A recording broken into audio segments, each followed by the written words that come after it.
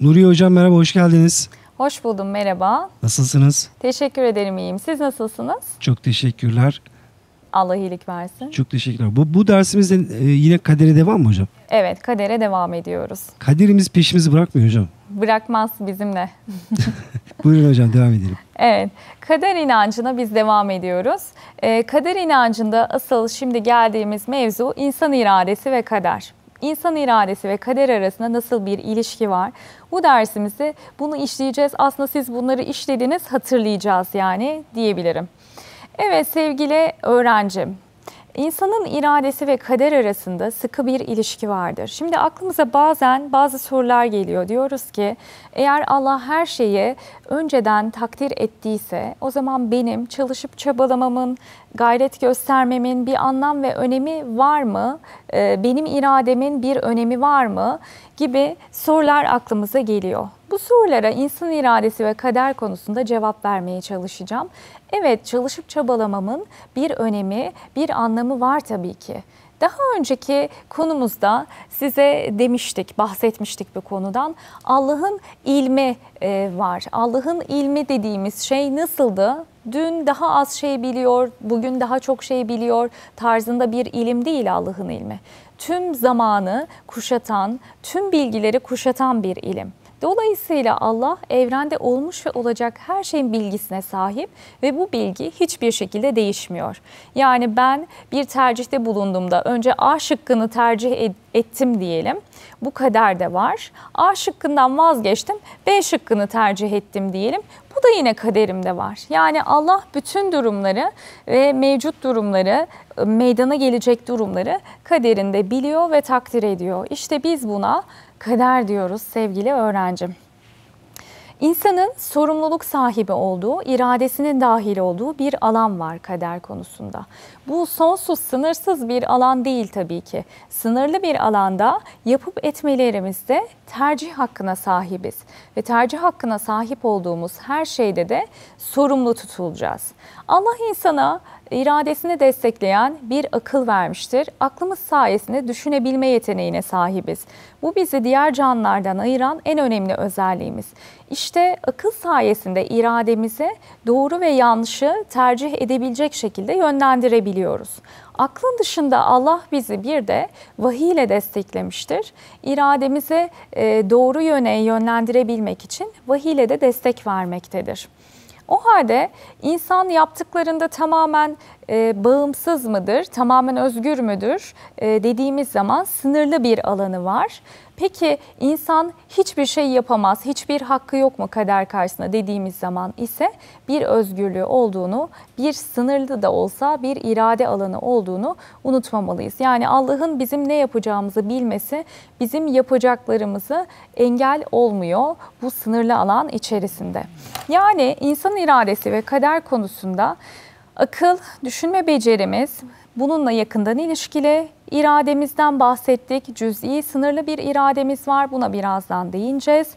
Ve özgür olduğumuz konulardan da sorumlu tutuluyoruz. Her konuda özgür değiliz ama özgür olduğumuz alanlarda da sorumlu olduğumuzu unutmamalıyız. Konuyla ilgili ayetlere bakacak olursak, Şüphesiz biz ona doğru yolu gösterdik. İster şükredici olsun, ister nankör.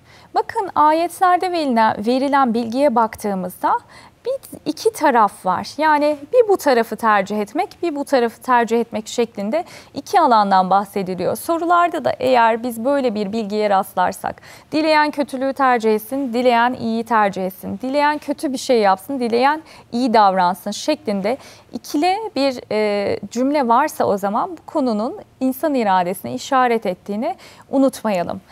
Evet bir diğer örnek ayetimize bakalım yine irade ile ilgili. Kim iyi bir iş yaparsa faydası kendinedir, kim kötülükte bulunursa zararı yine kendinedir. Yani insanın tercih hakkı olduğunu bildiren yine bir ayet ve bu ayete göre e, irade ile ilgili bir soru gelebilir ve bu soruya baktığımız zaman insanın tercih yapabilme özelliğinden bahsettiğini görüyoruz. Evet irade nedir? Dileme, tercih etme, karar verme ve bunlar için gerekli güç ve yeteneğe sahip olmak demektir.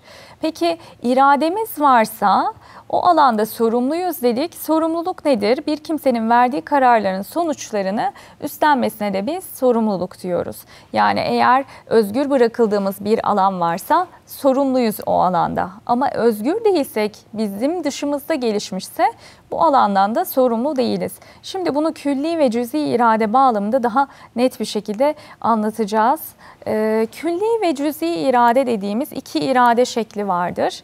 Ee, külli irade Allah'ın iradesidir. Yani Allah'ın dilediği her şeyi yapabilme gücüne biz külli irade diyoruz. Onun için bir sınır, e, bir kısıtlama söz konusu değildir. Bizim hayatımızda da tercih ettiği şeylere biz külli irade ediyoruz. Mesela bizim seçemediğimiz şeyler, işte saç rengimiz, ten rengimiz, doğduğumuz milliyetimiz, göz rengimiz. Bunları biz tercih edemediğimiz için bunlar külli iradenin konularıdır. Mesela başka ne var? Doğum tarihimi ben kendim seçemem. Doğduğum günü ben kendim tercih edemem. Kalbimin çalışma sistemi benim müdahil olabileceğim bir sistem değildir. Dolayısıyla bu da külli iradenin konusu içerisindedir. Midenin yiyecekleri sindirmesi yine benim irademle müdahil olabileceğim bir alan değildir. Ee, yani midenin kendi çalışma sistemini ben oturup kendi kendime çalıştırmıyorum. Bu anlamda külli iradenin konusuna girer. Cüzi irade dediğimiz şey ise insanın iradesidir. Yani sınırlı bir iradedir. Cüz kelimesi sınırlı bir irade anlamına geliyor. Bunu aklınızda tutabilmek için size şöyle bir örnek verebilirim. Yani Kur'an-ı Kerim cüzlerden oluşuyor mesela. Cüz kelimesini bildiğiniz e, en iyi örnek bu sanırım. Evet sevgili öğrencim Kur'an-ı Kerim'de yer alan cüzlerden aklına gelebilir. Yani cüz'i irade parça, sınırlı bir iradedir. Külli irade ise Allah'ın iradesi sınırsız olan iradedir. Cüz'i iradeye örnek verecek olursak Mesela bizim tercih edebildiğimiz şeyler cüzi iradenin konusudur. Mesleklerimizi tercih edebiliriz. Ne olacağımızı seçebiliriz. Bu alanda çalışabiliriz. Mesela davranışlarımız, iyi ve kötü davranışlar ya da nasıl davranacağımıza biz kendimiz karar verebiliriz. Bu konuda özgür olduğumuz bir alan var. Emek e, dediğimiz zaman yani bir konu hakkında çalışıp çabalamayı biz kendimiz tercih edebiliriz. Yine iyiliği, güzelliği e, biz kendimiz tercih edebiliyoruz. Bunlar cüzi irade kapsamında değerlendirebilen, e, değerlendirebildiğimiz örneklerdir. Yani külli irade dediğimizde Allah'ın iradesi, benim kontrolümde olmayan irade, cüzi irade ise insanın sınırlı olduğu ve bu alan içerisinde dilediğini yapabildiği kısma da cüzi irade diyoruz. İnsan cüz'i iradenin konusuna gelen durumlarda dilediğini yapabilme, tercih edebilme gücüne sahiptir sevgili öğrencilerim ve bu sahip olduğu güçten dolayı da sorumlu tutulmaktadır. Yani hangi davranışları yaptığı, hangi davranışları yapmadığından dolayı bir hesaba çekilecektir. Evet konuyla ilgili hemen bir örnekle devam edelim. Örnek bir soruya bakalım.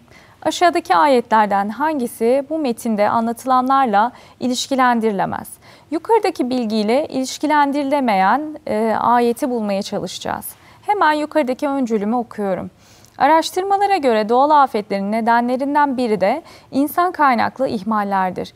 90'lı yıllarda Bangladeş'te yaşanan ve ülkenin büyük bir kısmını sular altında bırakan yıkıcı seller bunun örneklerindendir. Yağmur sularının akıp gitmesini sağlayan kanalizasyon sisteminin plastik poşetlerle tıkanmasının bu olaya sebep olduğu anlaşılmıştır.